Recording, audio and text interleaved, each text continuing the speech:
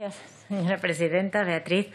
es un honor para mí comparecer ante esta comisión como delegada del Gobierno contra la violencia de género eh, a petición propia, cumpliendo un deber eh, democrático y un deseo desde que tomé posesión del cargo, pese a que las complicaciones derivadas de la crisis sanitaria causada por la pandemia de la COVID-19 no lo ha permitido hasta hoy.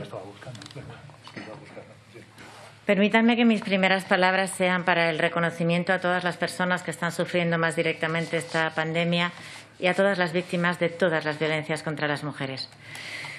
De recuerdo y homenaje, en primer lugar, a las mujeres asesinadas, víctimas de la violencia machista en España y a sus hijos e hijas. Como saben, 1.069 mujeres asesinadas desde el 1 de enero de 2003 hasta el día de hoy, 36 asesinadas en 2020. Saben también que la última confirmada efectos de la delegación del Gobierno como resultado eh, de la investigación de un juzgado de instrucción de Algeciras de un supuesto siniestro de tráfico que no se computó inicialmente como tal, pero ya se inhibió al juzgado de violencia sobre la mujer por resultar de la autopsia que ella había fallecido entre 24 y 36 horas antes de que él estrellara la autocaravana. 37 menores asesinados desde el 1 de enero de 2013, que es desde cuando se computan estas víctimas, niños y niñas,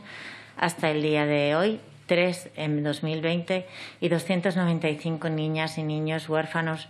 y huérfanas desde el 1 de enero de 2013 hasta el día de hoy, 17 en lo que llevamos de 2020. Estas cifras, que conocemos más que otras, ponen de manifiesto la cara más trágica y más visible de la violencia de género pero también es mi deber no reducir la magnitud de la violencia de género, ni siquiera de los feminicidios, a las víctimas de sus maridos, parejas o exparejas, que es el ámbito estricto de la actual Ley Orgánica 1-2004, pionera, reconocida internacionalmente, pero de hace más de 15 años, y cumplir así los compromisos internacionales, en particular el Convenio de Europa, conocido como Convenio de Estambul de 2011, asumido por estas Cortes Generales el 19 de febrero de 2014, autorizando el consentimiento del Estado y en vigor desde el 1 de agosto de 2014 en España. Conforme a los artículos 10 y 96 de la Constitución, ese tratado nos obliga como derecho interno y nos obliga a promover reformas legales. Y conforme a este mandato, hacer visibles eh, en esta comparecencia y en el día de hoy a todas las víctimas, porque una inmensa mayoría siguen vivas y nos necesitan. No están muertas. Ya desde el Real Decreto Ley de 6 de julio del 2018 se ampliaron las competencias de la Delegación del Gobierno contra la Violencia de Género a todas las formas de violencia contra las mujeres. Son las víctimas de todos los actos de violencia física, psíquica, sexual y económica, incluidas la amenaza, la coacción en la vida pública o privada por el hecho de ser mujer o que se sufren desproporcionadamente, que sufrimos las mujeres desproporcionadamente, incluyendo en el concepto de mujer el Convenio de Estambul a las niñas menores de 18 años. Solo quedan fuera de este ámbito de violencia la trata de seres humanos, pero porque se dedicó el previo convenio del Consejo de Europa para la eliminación de la trata, conocido como Convenio de Varsovia de 2000 eh, cinco y en vigor en España desde el 1 de agosto de 2009, es decir, cinco años antes. Pero la trata de seres humanos con fines de explotación sexual también es competencia de la Delegación del Gobierno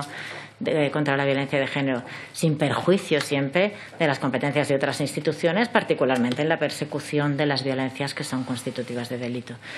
Es por todas ellas que desde la Delegación del Gobierno contra la Violencia de, Género tenemos la firme voluntad de seguir avanzando en la erradicación de todas las formas de violencia eh, contra las mujeres. Les hablaba de las víctimas vivas. Me consta eh, que tanto ellas como las entidades que las apoyan eh, siguen con interés este y otros actos de comparecencia o del Poder Legislativo.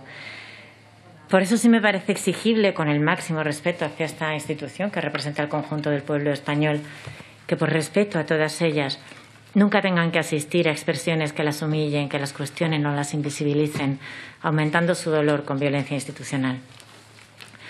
Mis siguientes palabras de reconocimiento a sus señorías, componentes de la Comisión de Seguimiento y Evaluación de los Acuerdos del Pacto de Estado en materia de violencia de género, ya que el cumplimiento y desarrollo de las medidas de este pacto, así como la lucha contra las violencias machistas, nos involucra a todos los poderes del Estado y a todos los niveles de la Administración y nos interpela a toda la sociedad. Confío en el compromiso común que nos dignifica como país a la vanguardia de los derechos humanos, eh, de respetar el Pacto de Estado como punto de partida y de cumplirlo asentando lo que fue un programa común irrenunciable para convertirlo en realidades jurídicamente vinculantes para todos los responsables institucionales y sociales. El Poder Legislativo que ustedes representan mediante la aprobación de leyes que garantizarán la protección integral para todas las violencias machistas que quedaron en aquel momento postergadas eh, del consenso que presidió la Ley Orgánica 1-2004, entre ellas la Ley Orgánica de Garantía Integral de la Libertad Sexual en trámite y la futura Ley Integral contra la Trata de Seres Humanos, que es, este, que es eh, un acuerdo de este Gobierno de coalición feminista y comprometido con los derechos humanos y con los principios constitucionales, valga la redundancia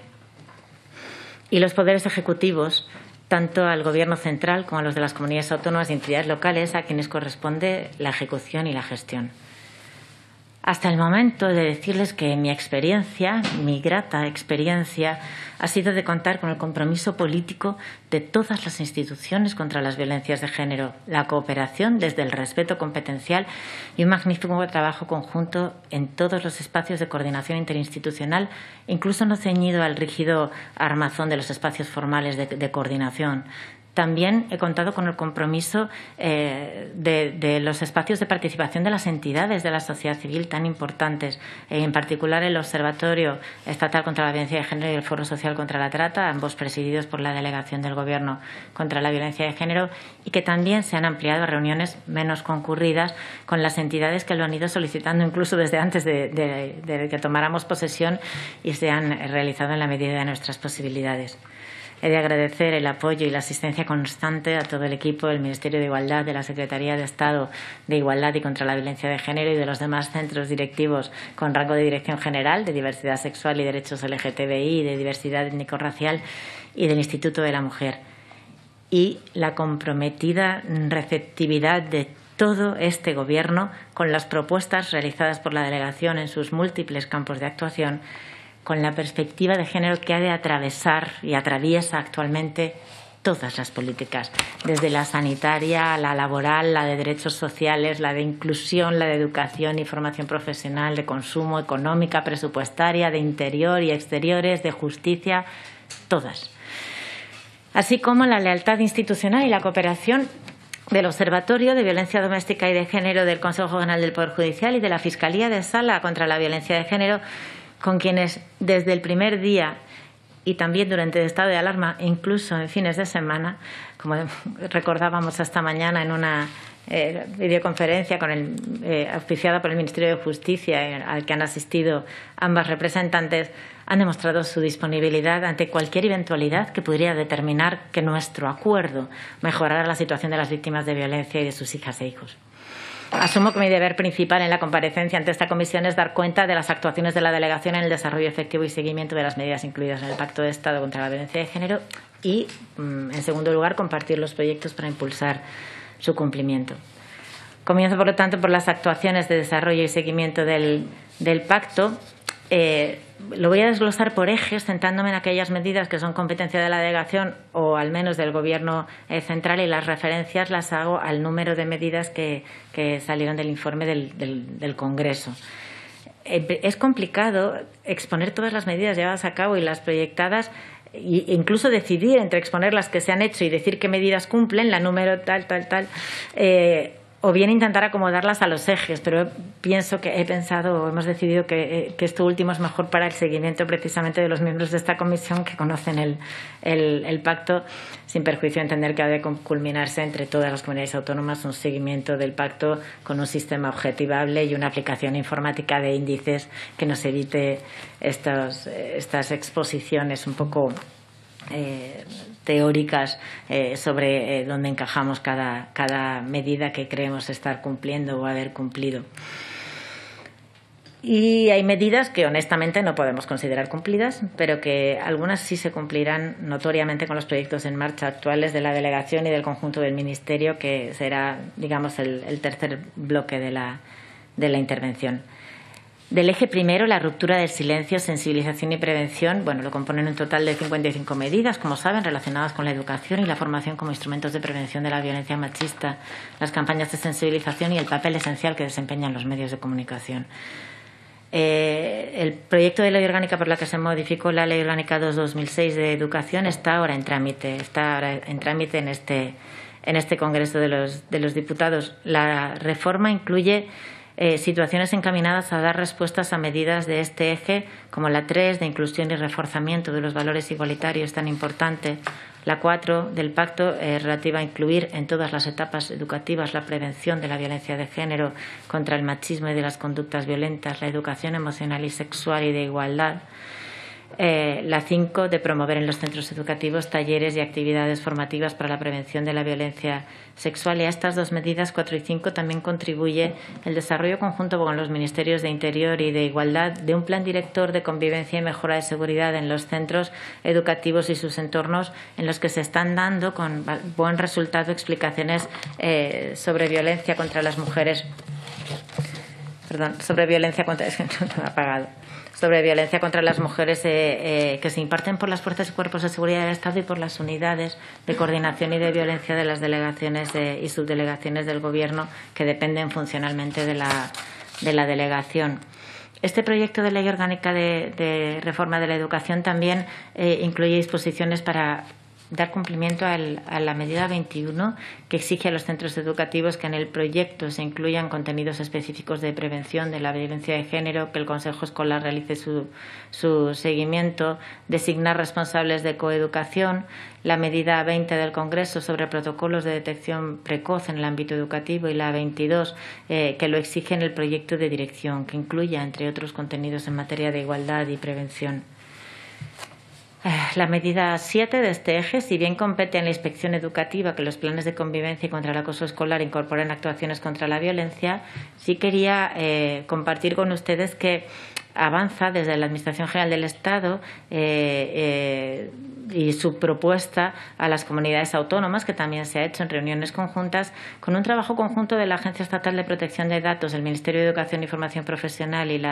el propio Ministerio de Igualdad, que acordamos desde el verano, viendo la, situación y las dudas eh, que, generaba el, retorno a las aulas más la violencia de control que evidentemente se había desarrollado durante la pandemia para garantizar un comienzo de curso seguro contra el acoso y otras violencias digitales. Esa campaña que están viendo en redes sociales, en anuncios que dice el control es tuyo, que no te controlen, se dirige a menores y a mayores, a padres y madres y equipos educativos y permite con un enfoque de género actuar directamente con los grandes servidores y proveedores de contenidos en Internet. La difusión del canal prioritario de la Agencia Estatal de Protección de Datos es realmente una herramienta muy eficaz para la retirada pronta de fotos, vídeos o audios de contenido sexual violento o humillante, que tanto daño hace a las víctimas una vez que se difunde.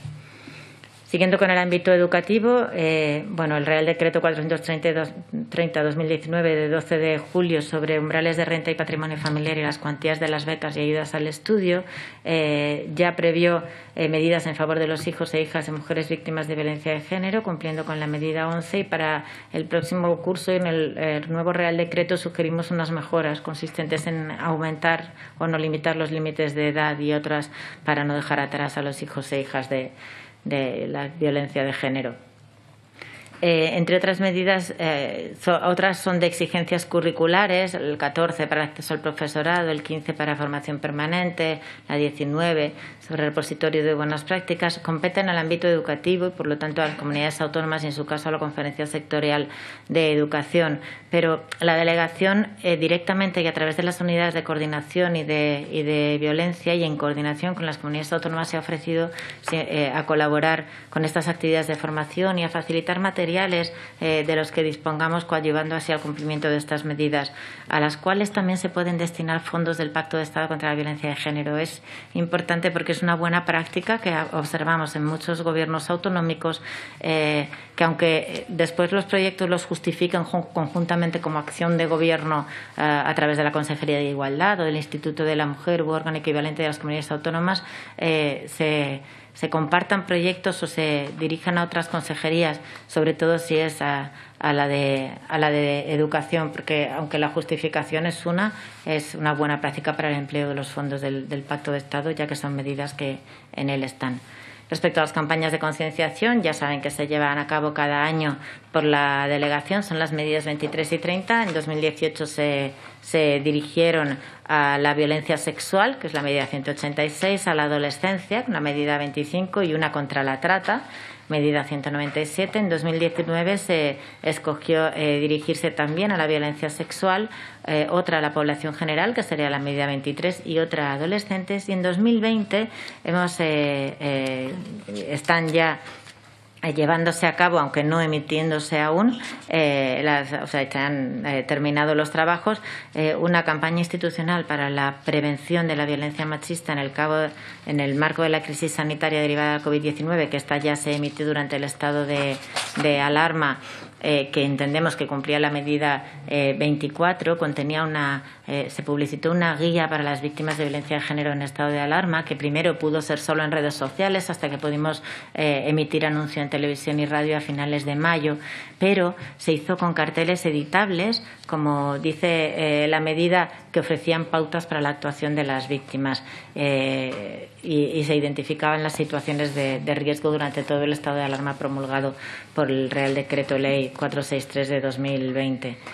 Actualmente, como les decía, se están ultimando los trámites para la difusión en noviembre de tres nuevas campañas. Una irá dirigida a la población general, otra también al público adolescente y por primera vez una dirigida especialmente a los hombres. Eh, la de población general y adolescentes cumplen las mismas medidas 23 y 25. Eh, la medida 26 habla de poner el foco en el maltratador, pero esta campaña lo que trata es de prevenir actuaciones potenciales de violencia de género que quizás no se identifican como tales por, con facilidad en, este, esta sociedad machista, ¿no? en la que hunde sus raíces la, la desigualdad. Eh, quizá decir, gritar, acosar, humillar es violencia, desde luego, es violencia de inferior grado que un feminicidio sexual, pero nos parece importante también hacer a los hombres partícipes de estas campañas y así lo hemos decidido y lo estamos llevando a cabo. La medida 27 decía campañas en centros sanitarios, consultas y farmacias y otras plataformas y esto eh, mm, fue esencial para enviar esos pocos esos carteles editables durante esos días del estado de alarma en que estábamos en confinamiento total. Los hicimos en los idiomas autonómicos y además en los idiomas más comunes en algunas zonas, sobre todo turísticas, pero también con mucha prevalencia de, de inmigración y bueno, mm, como no acaba una de aprender del todo y mira que lleva años en esto, pues, pues para las chinas después de poner unos teléfonos móviles nos dijeron poned un código QR porque si no no lo leemos. Y bueno pues pues pues una humildemente les digo que sigue sigue aprendiendo en cómo dirigirse a todos los, los, los ámbitos de, de mujeres para que a todas les les, les llegara esa campaña. Y para mí fue, mm, fue, la verdad, una satisfacción dentro de lo mal que lo estábamos pasando, poder enviar carteles editables a empresas que vimos que lo pusieron y a los pocos espacios abiertos, que eran justo supermercados, farmacias y muy pocas eh, tiendas de productos que tenían que contener eh, alimentación y a los centros sanitarios. Ver nuestros carteles editables en esos idiomas y en esos espacios, bueno, pues era una llamada que pese a que parezca que todo se está cayendo, puedes salir, puedes venir aquí y, pedir ayuda. Y se publicitaba sobre todo, el, pues como saben, el 016, el 016 online y esos WhatsApp de emergencia de apoyo eh, psicológico y contención emocional que tuvimos que, que emprender de inmediato. El día 16 de marzo estábamos cambiando los contratos porque no estaba previsto el teletrabajo y entonces las operadoras del 016 habrían enfermado en una sala de 80 o 100 metros cuadrados por sus turnos laborales y, ese WhatsApp y lo que he comentado varias veces en medios y, cuando me han preguntado, ¿no? Esa prevalencia brutal de los, de los medios de, de pedir ayuda o asistencia y asesoramiento silenciosos la prevalencia del WhatsApp y sobre todo del 016 online, con una subida el primer mes de estado de alarma del 486%, nos indicaban mujeres que no podían desde su propia casa hacer una llamada en voz alta. Y además después la ONU nos reconoció eh, o sea, nos reconoció, quiero decir, después de haberlo hecho nosotros, eh, admitió y reconoció este, esta modalidad como una, como una buena eh, práctica. También implicamos a las entidades locales, como dice la medida 29, en, en, los materiales y en campañas. Se fueron a través de la FEM, se fueron a comunidades de vecinos, había comunidades de propietarios que ponían los carteles. Puede parecer un trabajo muy de hormiguita, pero en esos momentos las redes, con todo lo que significan las redes, tenían que funcionar tanto las digitales como lo que siempre hemos llamado redes, las reales, las personales, esas comunidades. ¿no? Eh, las medidas 31 y 33 de, sobre sectores vulnerables, yo tengo que admitir que en una situación tan lamentable como en la que están las personas refugiadas, pues cuesta decir que hayamos conseguido poco hacer con ellas y, llegar con estas medidas contra la violencia de género, pero apoyamos, escuchamos e interactuamos a las entidades especializadas y proyectos contra la trata de seres humanos con fines de explotación sexual, incluidos los fines de prevención, y sí que eh, planteamos en una reunión con la, con la OAR, con la Oficina de Asilo y Refugio del Ministerio del Interior, eh, ofrecerles unos criterios muy rigurosos elaborados por el alto comisionado de ACNUR para afrontar las entrevistas de asilo, refugio y protección internacional con perspectiva de género. Y nos ofrecimos para formar a los instructores de asilo, que son tanto los formales por oposición, que son un cuerpo evidentemente con una formación notable, como los informales, que son fuerzas y cuerpos de seguridad de Estado que están en los demás lugares que no son Madrid y están en frontera y no tienen esta formación especializada. Nos parece esencial porque son quienes tienen contacto con las mujeres y a veces en condiciones más duras que, que el resto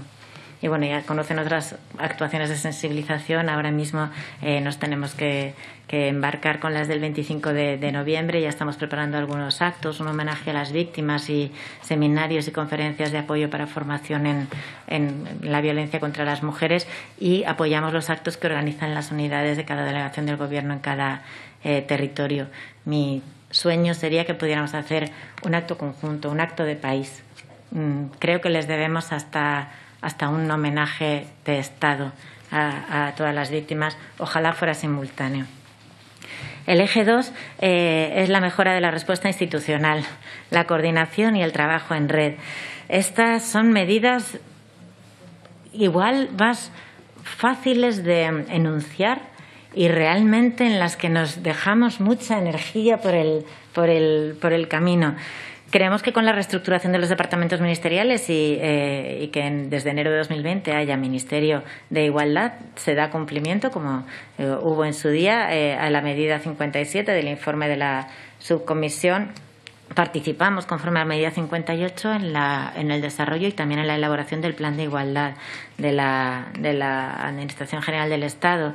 En cuanto a las Inclusión de otras asociaciones en representatividad específicamente, dice la medida 59 de las mujeres rurales. Contamos con FADEMUR, entre otras, y precisamente mañana se celebra el Día de la Mujer Rural. Y pasado mañana, el 16 de octubre, presentamos con ellas el estudio elaborado por, con FADEMUR, con el apoyo de la Delegación sobre víctimas de violencia de género en el mundo rural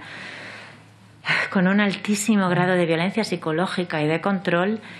y de permanencia con el agresor, con un tiempo medio de 20 años de permanencia con un agresor que ya reconocen como tal.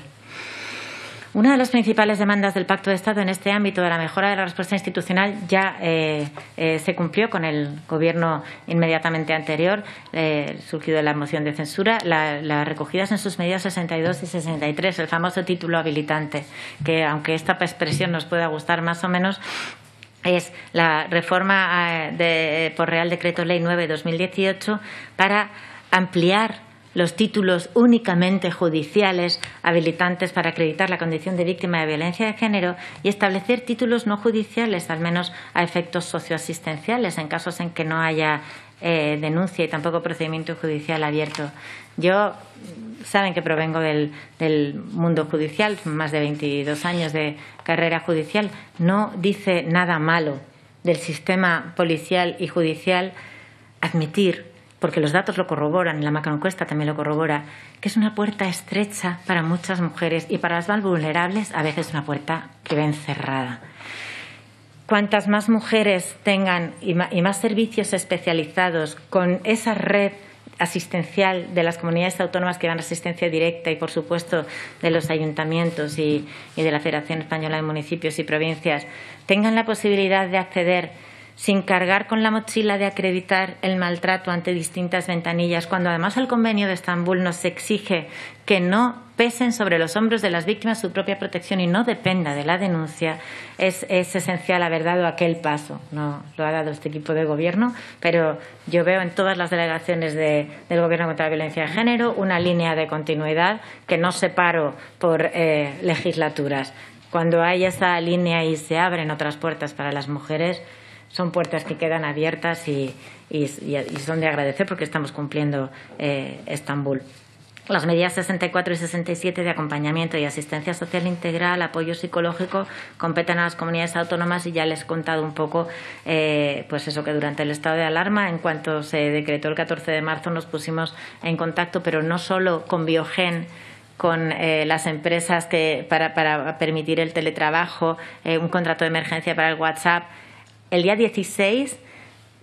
pedimos a todas las comunidades autónomas que nos actualizaran los servicios de atención integral y nos contestaron todas en 24 horas. Pudimos actualizar el mapa de servicios de la web, eh, en la web de la delegación y decírselo también al sistema Biogena Interior, que depende de la Secretaría de Estado de Seguridad. Esto significaba que en pleno estado de alarma ninguna mujer iba a acudir a un servicio que no estuviera operativo, que no, porque claro, eso es, o sea, la, pierdes, es que la puedes perder en el sentido metafórico y, en, el, y en el real, ¿no? Si se encuentran esos servicios de apoyo y asistencia integral eh, cerrados, el esfuerzo conjunto fue de verdad digno de, elogio y no fue nuestro. Fueron las comunidades autónomas las que informaron en ese exiguo plazo y fueron actualizando conforme, claro, la pandemia iba afectando a, recursos, a,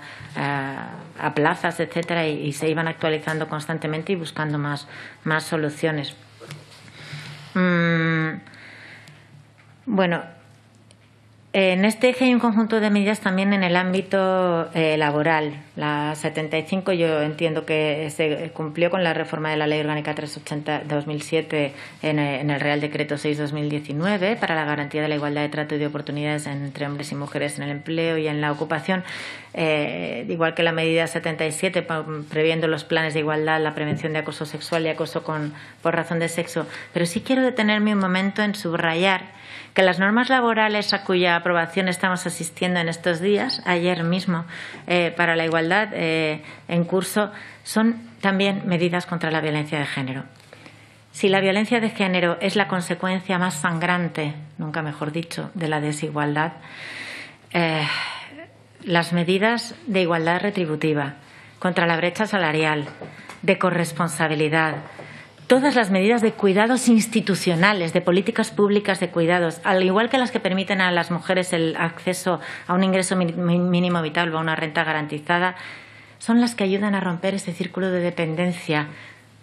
en el que se basa la violencia de, género. Son medidas de prevención y son medidas de salida de la violencia de género. Así que los reales decretos que, regulan el, reglamento para la unidad eh, para la igualdad retributiva y el real decreto de planes de igualdad y su registro para empresas a partir de 50 personas empleadas, no de 250 como hasta ahora, aprobados ayer 13 de octubre en el Consejo de Ministros y Ministras, fruto del trabajo coordinado entre el Ministerio de Igualdad y el Ministerio de Trabajo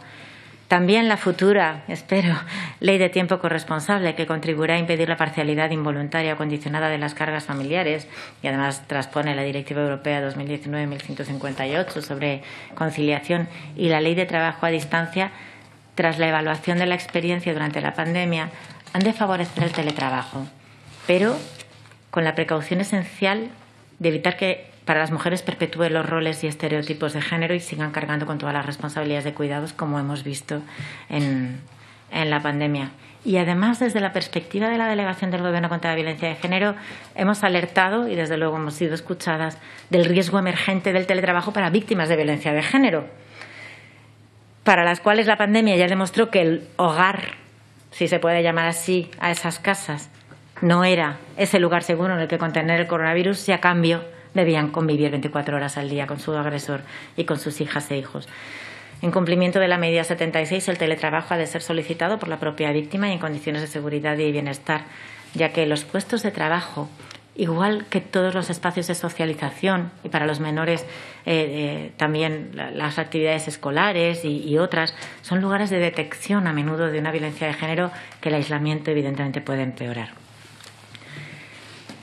Mm, bueno, eh, en la medida 78, el 4 de noviembre del 19, se aprobó una nueva instrucción conjunta eh, para coordinar las unidades de, violencia de las delegaciones y subdelegaciones del, Gobierno y el trabajo con, con, Biogen, que es constante. Y dentro del plan de contingencia también se promovió y mejoró a cargo de la Secretaría de Estado de Seguridad del sistema Alert Cops que ha sido y es una herramienta de protección eh, apreciada por las usuarias, si bien es cierto que depende del Cuerpo Nacional de, Policía, quiere decir que, había que, gestionar con otras eh, eh, comunidades autónomas o con otros cuerpos policiales donde no hubiera Cuerpo Nacional de Policía, pero es que este sistema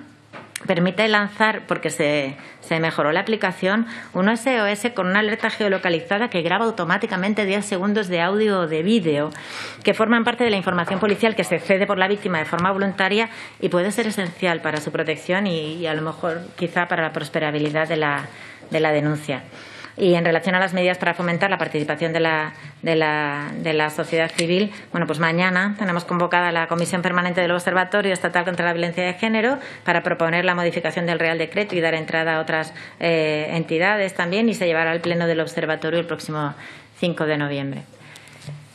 El apartado 2.6 de este eje del 2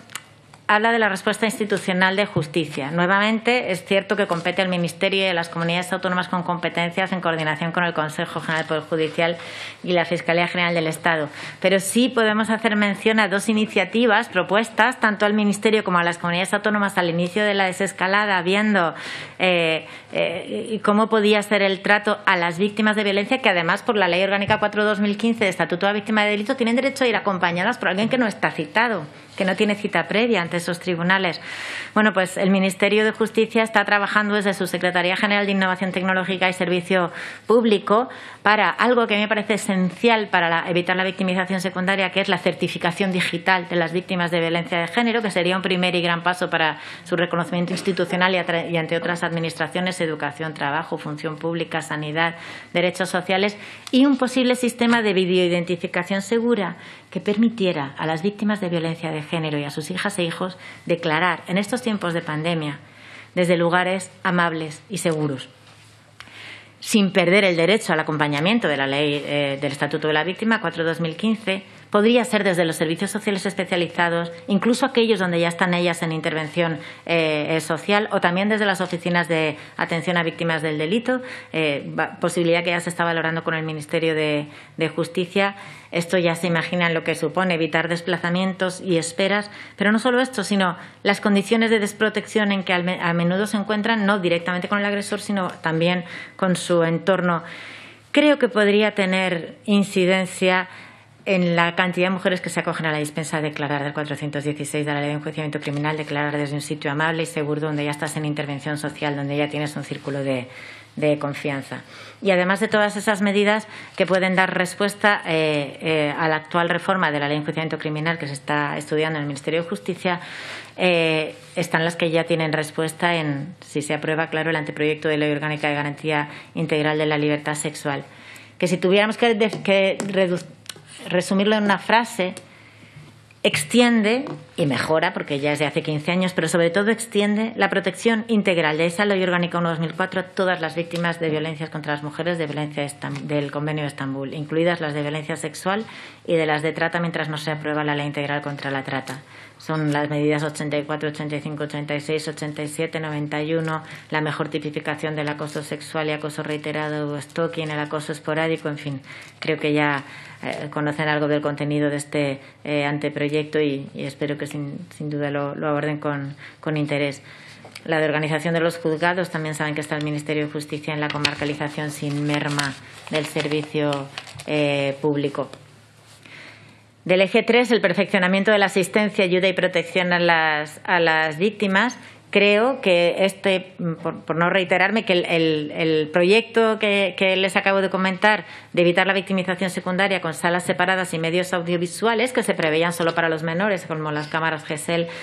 pues pueden eh, cumplir las medidas 107 y 108, al igual que la dotación de equipos psicosociales. El Gobierno de Canarias, por ejemplo, ha anunciado la, semana pasada la contratación de 10 equipos psicosociales para los juzgados con dinero de los fondos del Pacto de Estado, que insistimos en que es muy buena práctica eh, ejecutarlos eh, por parte de todo un Gobierno, eso sí, en coordinación y, con una sola justificación. Pero es una, buena práctica y sin duda va a redundar en la mejor atención eh, de, las hijas, hijos y, de las víctimas adultas de violencia de género y también en la mejor respuesta judicial, sin duda. Eh, las medidas de seguridad, como la 120 sobre la adecuación de los espacios policiales, sí se previó ya en la Ley de Presupuestos Generales del Estado del 18, prorrogados, como saben, en 2019 y 20, una aplicación presupuestaria específica para porque hay dependencias policiales que necesitaban las mínimas obras de adecuación relacionadas con la atención a víctimas de violencia de, género y que esperemos que, que sigan. Uh, bueno, las medidas 121 y, 122 tienen que ver con, Biogen y entendemos que eh, el nuevo protocolo eh, de la Instrucción 4-2019 eh, de valoración policial del, riesgo, incluyendo también a, las hijas e, hijos y las medidas policiales de protección a adoptar según el nivel de riesgo a partir del, del nivel medio, coadyuvan o pueden considerarse ejecutadas, no, no, claro, cumplidas con cada víctima, ¿no? pero ejecutadas con esta, con estos, eh, con esta mejora de la, de la instrucción. Mm, para impulsar la firma de convenios de colaboración entre el Ministerio de Interior y los ayuntamientos para la incorporación de policías locales al sistema Biogen, tal como señala la medida 124, se ha incluido como novedad, como criterio para el reparto de los fondos del pacto a los ayuntamientos, no a las comunidades autónomas, que sus cuerpos de policía local estén integrados en Biogen. Digamos que se, valora para a estos efectos. Y nos consta que algunas comunidades autónomas están realizando esta integración en municipios que aún no estaban. Eh, en el ámbito laboral, eh, se potencia el plan de inserción laboral de las víctimas de violencia de género, medida 128, regulado en el decreto de 2008, eh, aprobando el programa de inserción social laboral para víctimas de, violencia de género y manteniendo un diálogo constante con la Dirección del Servicio Público de Empleo Estatal. En cuanto a las medidas sanitarias, conociendo la situación en la que se encuentran las administraciones sanitarias en esta crisis provocada por la COVID-19 y con todo el reconocimiento a la labor que realizan, pues la delegación sí participó en, eh, durante, bueno, en, el, en, el, mes de junio entre, entre el estado de alarma y el inicio de la desescalada en la Comisión contra la Violencia de Género del Consejo Interterritorial del Servicio Nacional de Salud y em, sabemos por la macroencuesta y en relación con las medidas 133 y 134 que el 38% de las víctimas de violencia pide ayuda formal a través del sistema sanitario psicólogos, psiquiatras, obstetricia, ginecología, pediatría. Les pedimos que no se dejara atrás el cribado de violencia de género por el, triaje de la COVID, pero algo que, que, pedimos, digamos, conjuntamente, que fue una, conclusión conjunta, fue que en los protocolos comunes de, violencia sexual se les diera un impulso a través de la Administración del Estado porque dependen incluso de cada partido judicial. Y entonces hemos propuesto como reforma en el propio anteproyecto de ley de libertad sexual eh, que la recogida de muestras tras una agresión sexual no esté condicionada a la denuncia previa de la víctima, sino que se realice y se custodie debidamente hasta que la víctima esté en condiciones de tomar la decisión en otro momento menos traumático, pero teniendo garantizadas unas pruebas de análisis biológico que se conservan debidamente si así lo desea lo cual si se aprueba en la ley, eh, en, el, anteproyecto de ley orgánica, eh, será sin duda un avance muy significativo para la protección de la víctima y la persecución de los delitos contra la libertad sexual. Bueno, y en relación con las medidas relativas a mujeres con discapacidad, donde acaba el eje 3, en las medidas 135 a 138, los recursos estatales gestionados por la delegación, el 016 a TEMPRO, son accesibles a mujeres con discapacidad a través de la plataforma S Visual y Telesor y a a través del módulo eh, SOTA. Y está impulsando y financiando la mejora del conocimiento sobre la incidencia de género en, las mujeres con, discapacidad o más, o más, vulnerables con estudios sobre mujeres, discapacidad y violencia de género y otro específico sobre la violencia sexual en las mujeres con discapacidad intelectual cuyos resultados se harán públicos próximamente. El eje 4 es el de los menores de edad. Tiene 16 medidas, a 140 a 155, acabamos, y creo que no es necesario repasar su contenido, de dar a conocer los resultados del estudio sobre la situación de los y las menores víctimas de violencia de género, dando así cumplimiento a la medida 143. Los datos son, pues, bueno, es difícil medir. Eh, su, su,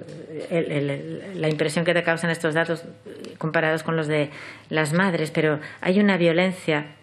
en la que el 24,7% de los adolescentes de entre 14 y 18 años, de una encuesta de 10.465 menores, de 304 centros educativos, 3.045 docentes y 227 equipos directivos, que nos dice, expuestas 12 situaciones de violencia eh, de, diversa entidad, pero todas violencia, su madre las había sufrido en un 24,7, es decir, casi uno de cada cuatro adolescentes. De ellos y ellas, el 77,15% de los menores expuestos a la violencia de género contra la madre había sufrido algún maltrato directo. Esto, comparado con la macroencuesta, nos da un número similar, pero las mujeres tienen una percepción algo inferior de violencia, con lo cual no solo las mujeres no exageran, en todo caso minimizan, pero, ni siquiera, pero no porque falten a la verdad, sino porque los adolescentes se están percatando de cosas de las que sus madres creen que pueden protegerles y sin embargo están viviendo esa, esa violencia. La mayoría de las medidas sobre menores víctimas de eh, protección de los menores, perdón, frente a la violencia de género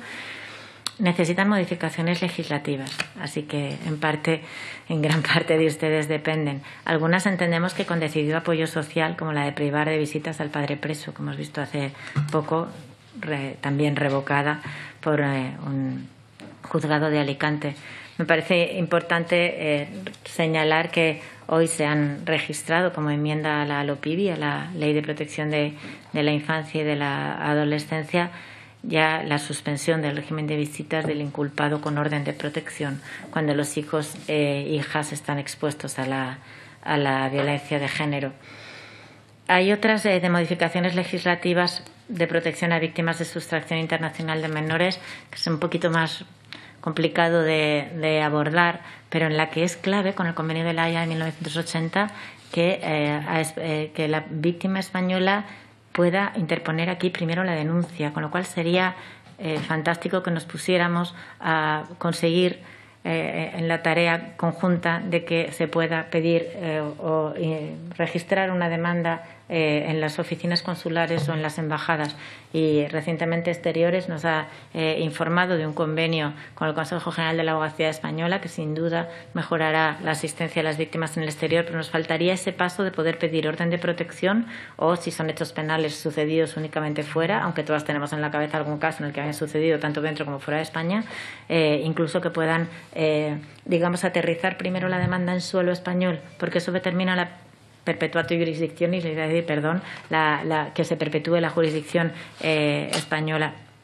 y no intervengan otros países que no defienden los derechos eh, de las mujeres con la misma eh, calidad y entidad que, España. Las pensiones de orfandad también fueron una, una, gran medida en la Ley 3 de 2019, si bien mm, haciendo honestamente autocrítica entidades tan prestigiosas como la Fundación de Becas Soledad Cazorla en, en honor a, nuestra fiscal ya fallecida y tan pionera en esto.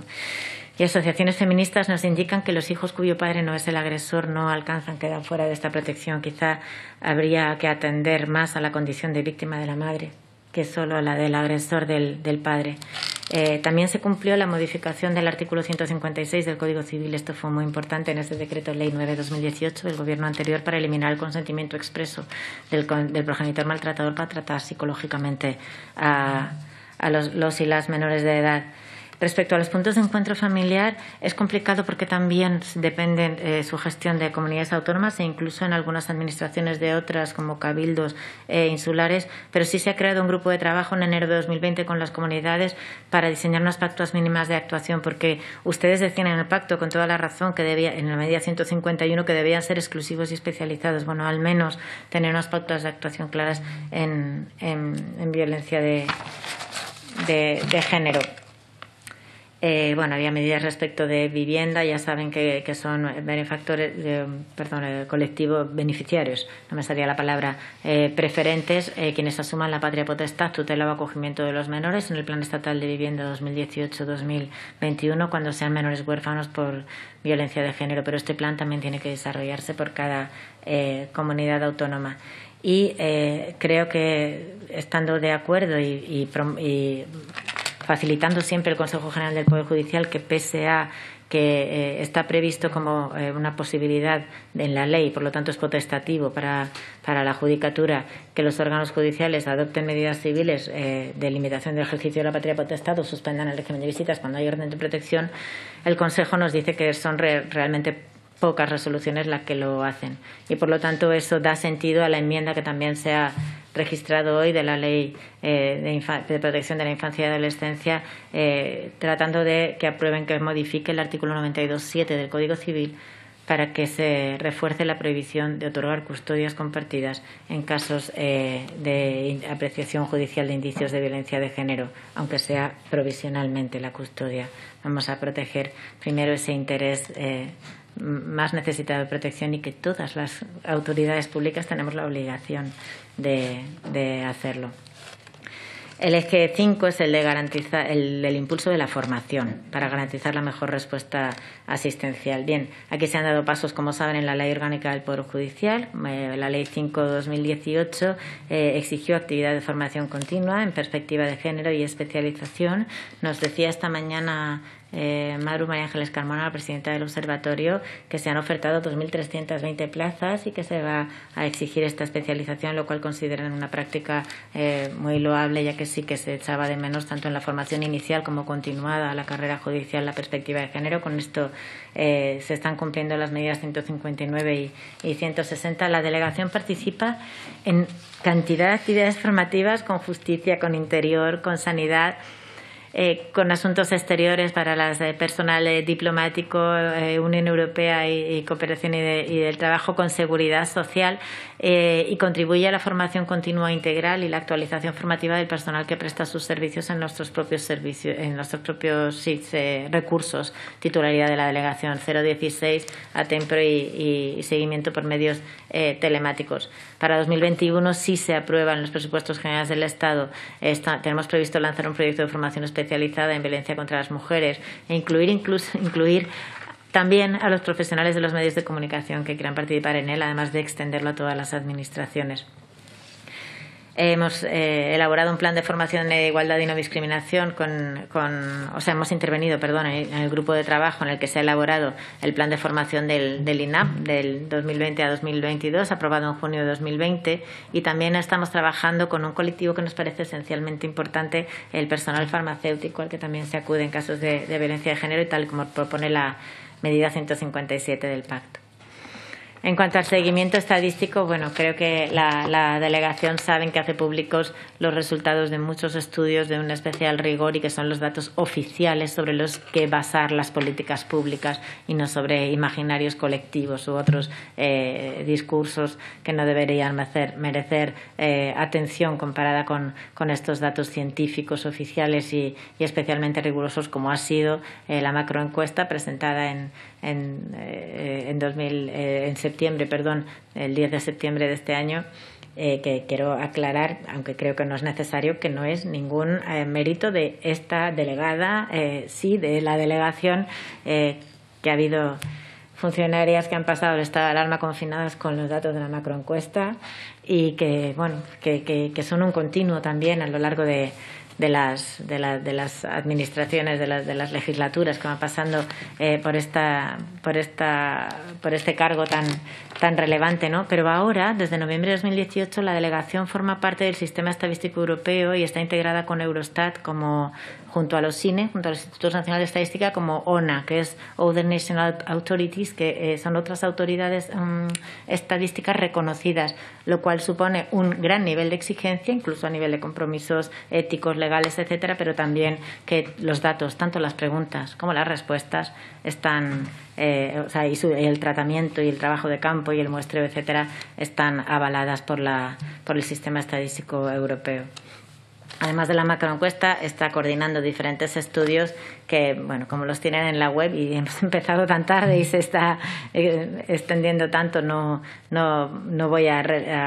enumerar, pero que, que realmente eh, eh, intentan abarcar todas las formas de violencia y todas las, las mm, situaciones más, más vulnerables y, y, las de los niños y niñas que se van publicando en la, en la página web, cuya difusión la verdad es que agradecemos a todos los, los niveles porque es un material del que no tenemos tampoco gran capacidad eh, de difusión, salvo, salvo bueno, diciendo que son buenos estudios, que están ahí intentando presentarlos, compartir los resultados, eh, etcétera.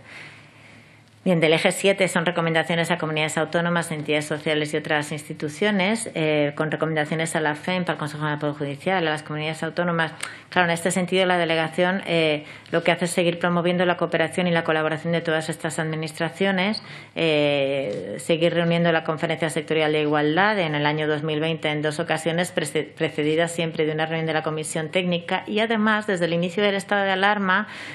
como consecuencia de la crisis sanitaria derivada de la COVID-19, y ahora continuamos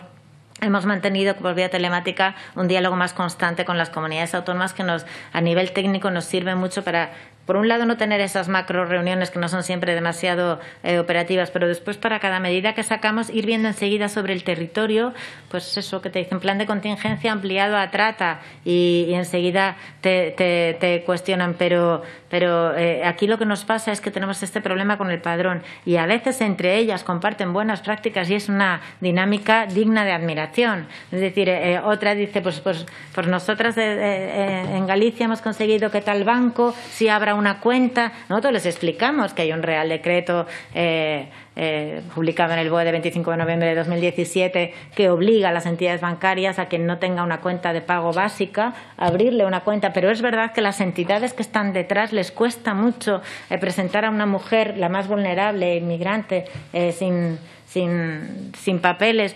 a, entrar en ese, en ese circuito de, de, protección y de asistencia integral que a menudo es el camino mm, bueno, pues para su supervivencia, ¿no? Pues no se puede decir de otra manera. Así que en esto estamos, la verdad es que no podemos hacer mucho más que, coordinar, pero sí se puede coordinar un poquito más y desde un, espacio más, bueno, menos encorsetado, valga la palabra, que las que los espacios más oficiales de, coordinación y la respuesta creo que está siendo digna de elogio por parte de las comunidades autónomas. El eje 8 eran otras formas de violencia contra las mujeres, contemplaba 20 mm, medidas, de la 181 a la 200, mm, para abordar precisamente otras manifestaciones de la violencia machista y aquí creo que la gran respuesta es el anteproyecto de la Orgánica de Garantía Integral de la Libertad Sexual. Se pueden enumerar hasta 12 medidas que cumpliría de la 5 a la 29, 184, 200, 201 pero no se trata de, enumerarlas. Eh, está en trámite y eh, ha, tenido tal cantidad de observaciones y de participación eh, pública que está terminando este eh, proceso e introduciendo mejoras en sintonía con el Ministerio de Justicia. Eh, como saben, algunas ya han sido objeto de, anuncio por, por la ministra. La asistencia y la protección, en particular a las mujeres y niñas víctimas de trata, explotación sexual y las mujeres en contexto de prostitución, que están entre las máximas prioridades de actuación del Ministerio de, Igualdad, dio lugar primero a que el plan de contingencia durante el estado de alarma para las víctimas de violencia de género se ampliara eh, en cuanto eh, pudimos ponerlo en marcha a estas eh, víctimas. Hubo un momento de actuación muy evidentes. Estaban cerrando en ese momento hostales y hoteles que resulta que eran pues el medio de trabajo, el, lugar de, donde desarrollaban su vida, su trabajo y su alojamiento. Eh, mujeres que en ese momento eh, quedaban eh, sin todo esto. en coordinación con la Secretaría de Estado de Seguridad, que ya había dictado una instrucción, se, puse, se, se, contactó a las entidades especializadas en este tipo de víctimas. Se dio una, una, una acreditación que, sinceramente, para mí, como conocedora del sistema de trata que se ha basado en la lucha policial contra el delito, contra el crimen organizado, pero abrió una brecha hacia algo que dice el convenio de, Varsovia, que es que sin perjuicio de la persecución del delito, bueno, sería lo mismo que la puerta y el artículo 23 ¿no? y, el artículo, y el título habitante, que sin perjuicio de eso y sin estar condicionada a que colaboren contra su propia mafia, que es una heroicidad que no se puede exigir a, cualquiera y menos a mujeres y niñas eh, devastadas, pues con esa acreditación pudieran acudir al sistema eh, socioasistencial cuando una conoce ese, ese, mundo se da cuenta de la brecha que es. Incluso algunos, algunas veces tuvimos que hacer salvoconductos para poder circular, porque eran días que no se podía ni circular dos personas en coche sin ser identificadas. Y la excesiva identificación eh, eh, policial de estas víctimas puede dar al traste con la inicial protección, no por eh, el comportamiento de la policía española, sino por las vivencias que ellas arrastran en su periplo migratorio con otras fuerzas y cuerpos de seguridad del Estado y otras, y otras em, autoridades. Creo que eso fue un, un, buen plan que desde luego tenemos que seguir ampliando. Eh, estamos realizando ya, hemos presentado el informe final de evaluación del segundo Plan Integral de Lucha contra la Trata 2015-2018 en el Foro Social contra la Trata que se ha reunido el pasado 5 de, octubre y, mm, dada la falta de de, datos y de nuestro empeño en legislar o, ejecutar, o gobernar sobre estudios rigurosos, eh, tenemos previsto un macroestudio contra la trata de fines, eh, contra la trata de mujeres con fines de explotación sexual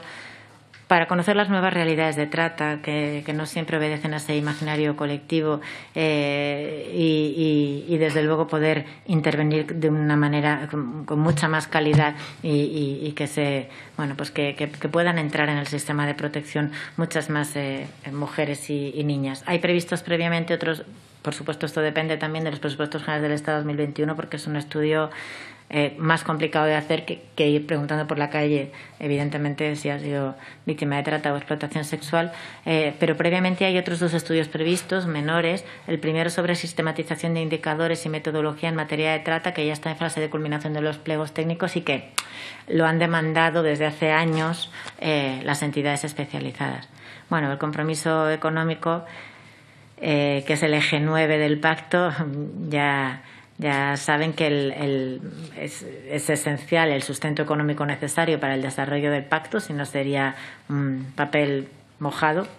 En 2020, con los presupuestos prorrogados, eh, pues se han adoptado las medidas necesarias para dar cumplimiento y, el reparto del crédito de 100 millones de euros para las eh, nuevas y ampliadas competencias que corresponden a las comunidades autónomas en cumplimiento del, del, pacto se hace siempre en las reuniones de la Conferencia Sectorial de Igualdad eh, para cada uno de estos tres ejercicios presupuestarios últimos. La última está publicada en el BOE. La, la, la, de 2020, el de 19 de mayo de 2020, donde pueden ver, no tiene sentido explicar aquí las, las cantidades y las comunidades autónomas. Sí que eh, el Real Decreto Ley 12-2020 de 31 de marzo, eh, que contenía las medidas urgentes en materia de protección y asistencia a las víctimas de violencia de género y con un consenso, una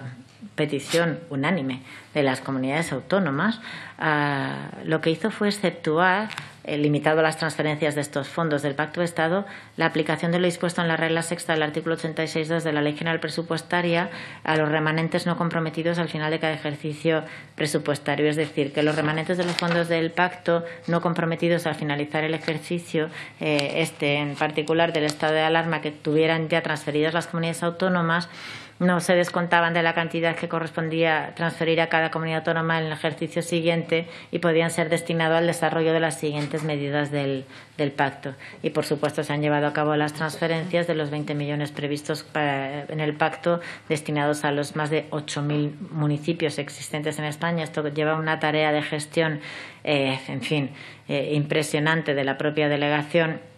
y se establecieron unos fondos de, o digo, unos criterios de, de, distribución, pero hay que hacer cada transferencia y cada eh, justificación. Por eso se está, eh, bueno, pues tramitando por un lado un real decreto que actualice los criterios de distribución, como lo de la inclusión de policía local en el sistema Biogen que les comentaba antes, y también preparando una aplicación informática que entroncaría con el eje 10 del seguimiento del Pacto de Estado. Del seguimiento poco les voy a decir, ya que ustedes son los, los protagonistas, al igual que su, la comisión homónima constituida en el, en el Senado, pero el seguimiento por parte de la delegación, si me permiten la expresión, ha sido un poquito artesanal.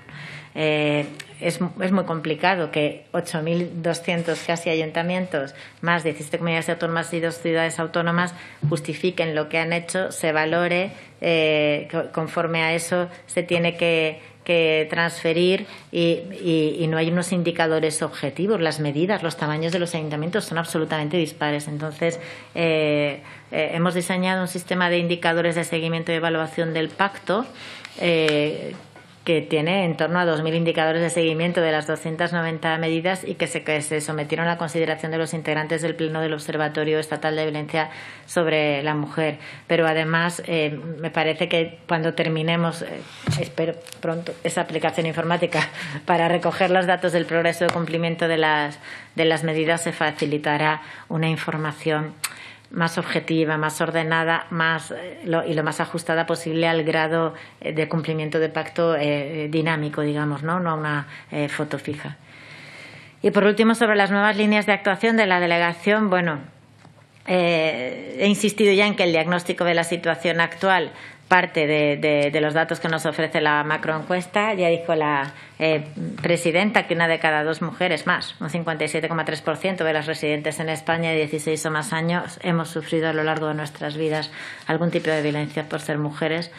11.688.411 mujeres. Han llamado bastante la atención los datos de violencia sexual sobre la pareja porque eh, eh, bueno, se, ha dado, se han dado más ítems y también más resultados que, en macroencuestas anteriores, como es lógico porque va eh, evolucionando. El 6,5, 1.322.000 mujeres residentes en España mayores de 16 habrían sufrido violencia sexual en algún momento de sus vidas de personas que no son su pareja violadas un 2,2%, más de 453.000 mujeres alguna vez en su vida. A mí, como parte del sistema institucional, no de este gubernativo, pero sí del, judicial durante prácticamente toda mi carrera profesional, me llama casi más la atención que la prevalencia que sea una violencia tan silenciosa. El dato de que solo el 8% de las mujeres que han sufrido violencia sexual fuera de la pareja haya denunciado ante la policía o el juzgado corrobora ese diagnóstico y esa intención y esa política necesaria de abrir otras puertas sin criticar las que están, sirven para ese 8% de mujeres que denuncia eh, esas violencias cuando el Ministerio del Interior nos da sus datos de denuncias, son sus datos correctos, se computan las denuncias correctamente, como cuando el Consejo General del Poder Judicial nos da los datos de orden de protección y sentencias. Pero es que son las mujeres que no llegan a esas puertas. Eh, el 99,6% de las mujeres que han sufrido violencia sexual fuera de la pareja la sufrieron por parte de un agresor eh, hombre. Y otro dato que quizá nos ayude a, visibilizar muy claramente que a veces tenemos un imaginario colectivo, incluidas nosotras mismas, yo misma, eh, que no corresponde con las realidades. En el caso de las violaciones, esto ya salió en la macroencuesta de 2015, las que han sido violadas por un desconocido han sido un 18,8%. Es decir, el 82% de los agresores son conocidos de la víctima. Cuando nos preguntan por qué en una ley de garantía de integral de la libertad sexual se han de introducirse medidas laborales, medidas funcionariales, medidas de vivienda, medidas de protección integral, ¿por qué? Si te ha violado un desconocido en un descampado, que es de lo que advertimos todavía a nuestras hijas e hijos, a nuestras jóvenes, a, bueno, pues porque si tienes en cuenta esto otro, sí hay que sí sabe dónde vive, dónde trabajas, ha estado en tu entorno, entonces sí tiene sentido la protección integral. Y creo que desde la judicatura cualquiera les podría decir que ha sido muy frustrante durante muchos años eh, tener ese instrumento magnífico, nunca me cansaré de decir lo que fue la Ley Orgánica de 2004, y poder aplicárselo a mujeres que habían sufrido amenazas reiteradas, malos tratos de distinta entidad de sus parejas o exparejas, pero no a mujeres que hayan sufrido agresiones sexuales. Creo que estar a tiempo y en el punto en el que vamos a remediar esto es realmente para estar orgullosas todas, como sociedad y como país. No les digo más datos de la encuesta porque sé que les tenemos muy hartos de esto, porque hemos intentado hacer el máximo, la máxima difusión posible, pero sí termino con uno que entronca con el siguiente estudio. 1.678.959 personas menores viven en este país ahora en un hogar en el que la mujer está sufriendo algún tipo de violencia, sea física, sexual, de control emocional, económica o miedo, dentro de las violencias psicológicas en la pareja, y solo física o sexual para quienes se empeñan en relativizar con palabras vanas eh, algunos de estos tipos de violencia. Son más de 265.000 menores que están viviendo esta, esta violencia. Esto nos lleva necesariamente a un abordaje integral de todas las violencias sexuales, a este anteproyecto, a mejorar la respuesta institucional para esa parte del silencio que claramente nos interpela y la necesidad de abordar la situación de los menores víctimas de violencia de, eh, machista, para lo cual también sin duda va a contribuir el proyecto de, de LOPIBI, ¿no? de Ley Orgánica de Protección Integral a la Infancia y la, y la Adolescencia. Los datos del servicio telefónico 016, del 016 online, de las mujeres activas, de, de, los casos activos en Biogen, en Atempro, en los, en los dispositivos electrónicos, no paran de crecer. Les doy solo los, los últimos hasta el 31 de agosto de 2020. En el 016, 57.470 llamadas pertinentes, o sea, se desechan las no pertinentes, ¿eh? las bromas y tal, que son a veces el 50%. Esto es un incremento del 26,9% con respecto al mismo periodo de 2019. Atempro eh, tiene un, un, número de usuarias activas a 31 de agosto de 2020 de 14.772 mujeres, un incremento del 5,6%. Los dispositivos electrónicos que son son pulsera o tobillera para el agresor y esa especie de teléfono móvil eh, para la, mujer, eh, tiene, eh, ahora mismo están activos dos, bueno, el 31 de agosto 2082, con un incremento del 62,3%. Y en, y en, y en Biogen también hay 64.000 casos activos, con protección policial aproximadamente 31.000 estoy diciendo de, memoria, pero aproximadamente son esos los, los datos. Y estos datos siguen poniendo de manifiesto el incremento constante del uso de recursos estables y el reto que tenemos de procurar la mejora continua en la prestación de estos eh, servicios. Por esto eh, anunció la, ministra y por esto cobra todo el sentido eh, una parte de,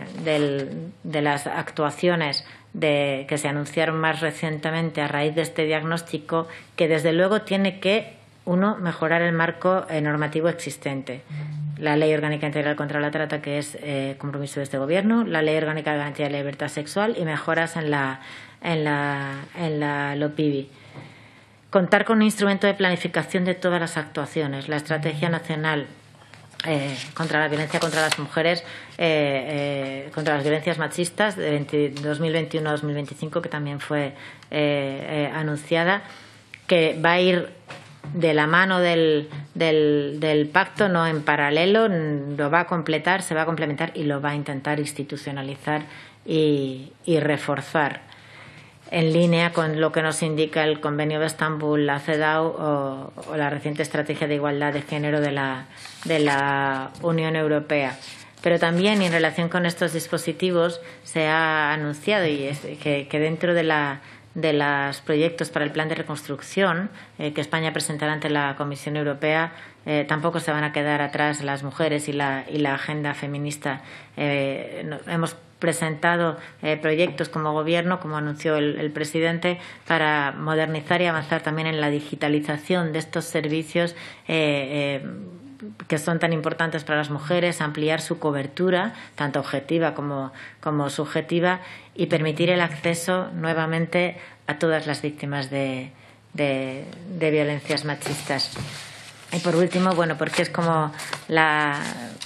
la novedad que, que, se, digamos, anunció eh, por la ministra más, más recientemente, mm, también se va a abordar y, también se ha registrado hoy como, como enmienda a la, a la LOPIBI en el artículo 10 bis, eh, terminar con el falso síndrome de alienación eh, parental, que no tiene ningún tipo de, de, de rigor ni de validación científica, pero que son criterios y teorías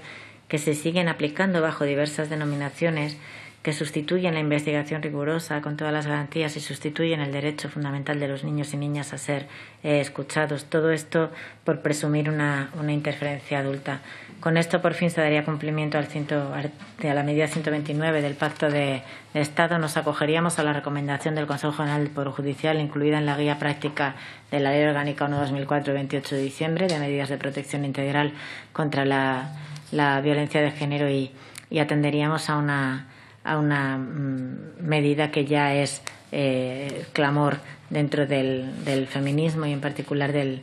feminismo jurídico porque es una medida que no es solo de, de violencia eh, eh, contra las mujeres sino también directa contra sus, sus hijos e, e hijas. Y bueno, como les he contado tantas cosas, ya me callo y me pongo a su disposición si todavía quieren hacerme alguna pregunta, porque creo que a pesar de, de los 90 minutos de retraso me he extendido demasiado. Discúlpenme, en parte es por la, por la emoción de algunas de las medidas y proyectos y muchísimas gracias por la atención. Muchísimas gracias, delegada. Eh, ahora damos paso al, al turno de los grupos parlamentarios que tienen diez minutos cada uno y comenzaría de menor a mayor. El primer grupo parlamentario tiene la palabra